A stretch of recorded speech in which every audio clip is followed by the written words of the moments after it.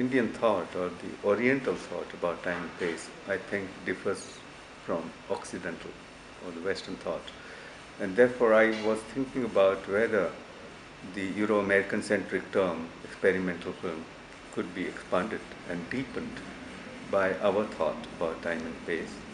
And in that direction, I'd been thinking for a long time. But 2005, I presented the cinema prayoga concept in Mumbai, and then it traveled a lot in, uh, in Europe and also in America, and uh, had been receiving very warm response in terms of uh, in ter- terms of whether the so-called experimental film, which I call prayoga, could be much more expansive, and and also kind of discipline can be developed around it, and people are thinking very positively about it. Philosophers, the practicing filmmakers, the thinkers, the writers, critics, everyone thinks that it can be done.